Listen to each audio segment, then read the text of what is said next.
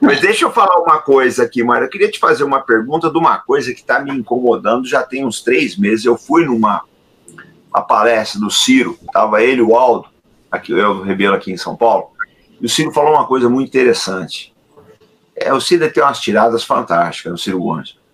Ele falou: olha, com essa crise que a gente está vendo na Europa aí, em virtude principalmente aí do problema da energia, né?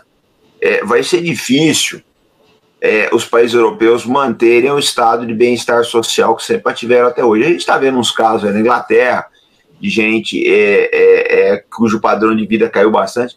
Eu queria que você desse um painel para gente de como está a economia europeia, economia em geral no, no, mundo afora aí, né? Na tua visão, que você, eu sei que você é pessoa conhece muito esse assunto e a gente estava querendo já há muito tempo, Mara, trazer alguém que entende isso é para falar para nós, porque a verdade dos canais nossos aqui, né, Ricardo, é tiro, porrada e bomba, né? E a gente gosta de ouvir um especialista na área aí, por favor, tá contigo a manobra. Mas tiro porrada e bomba é o que mais é, economia. Né? Hoje, hoje a live porque se a gente veio de uma live do, do Hezbollah para sua. Nossa. Então deu uma taxada que a gente tava falando em Hezbollah até agora há pouco aí de Hamas, de míssil coreano que foi fornecido para os Houthis no, no Iêmen. Aqui o negócio é pesado, tem dia que eu não consigo nem dormir direito. O canal da guerra, o cara liga, é, você tem que ligar e se abaixar porque sai tiro, né, Ricardo? Pra tudo quanto é lado. Mas aí, como é que você tá vendo a situação econômica do mundo aí? Olha, eu estava na Europa, eu, eu moro um pouco em Portugal, né? E moro um pouco na Costa Rica e um pouquinho no Brasil. É, eu estava lá em Portugal. Portugal é, vive um problema seríssimo, que é o problema de moradia. Seríssimo.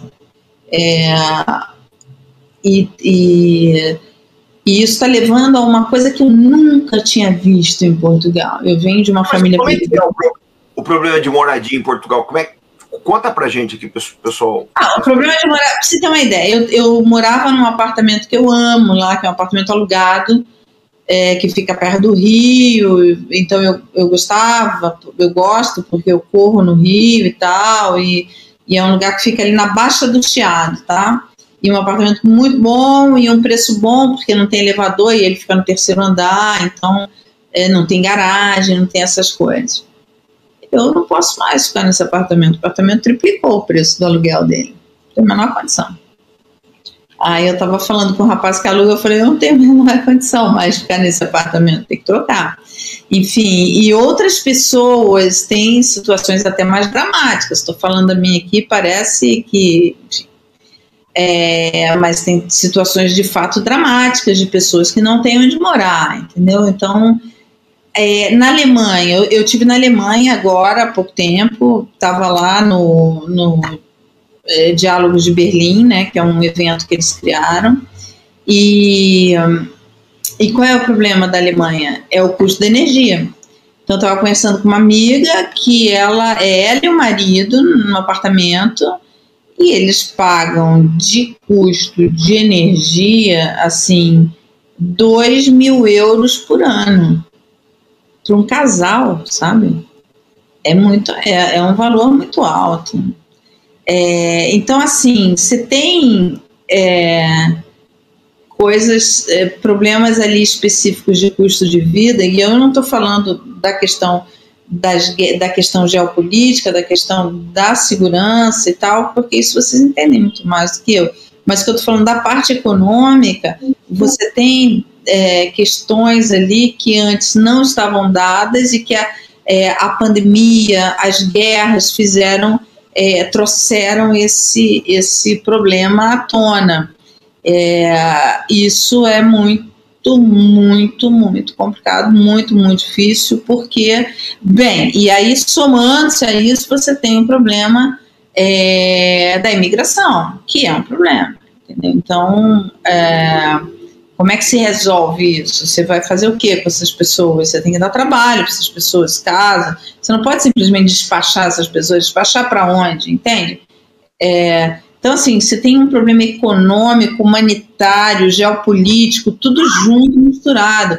É, é uma situação muito difícil. A gente imaginava, eu cresci, assim, quando eu me formei, Quando eu saí da faculdade, entrei na redação, eu vivia num mundo em que não haveria mais guerra, não haveria mais inflação, entendeu? Então a gente estava vivendo finalmente é, aquele momento de tranquilidade no mundo. E aí hoje é o contrário: você tem inflação, você tem guerra, você tem o problema da imigração que é fortíssimo, os refugiados. A gente tinha um, uma expedição My News para fazer agora, para visitar, para fazer um trabalho num campo de refugiados ucranianos. Falei com o comandante sobre isso, ali na, na Polônia e que foi e que não fizemos, não fizemos porque é, enfim, a organização achou que, que não tinha condições seguras para a gente viajar. Meu Deus, a gente não tem condições seguras para ir para a Polônia? E isso, sabe?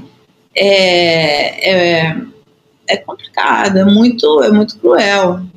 É, é são tempos muito difíceis. Eu fico pensando, eu não tenho filhos, mas eu fico pensando pessoas que têm filhos devem se angustiar muito, sabe, em relação aos seus filhos, aos seus netos, porque vão pegar um mundo muito difícil. Não não tivesse sido nos, nos, anos, no, nos anos 20 no século, no século XX, claro, foi, foram anos muito difíceis, mas eu, eu não sei, eu, eu, eu acho que hoje a gente vive tem, a gente tem um problema de uma epidemia de doenças mentais, por exemplo, com, entre jovens. Eu acho que muito em função disso, entende?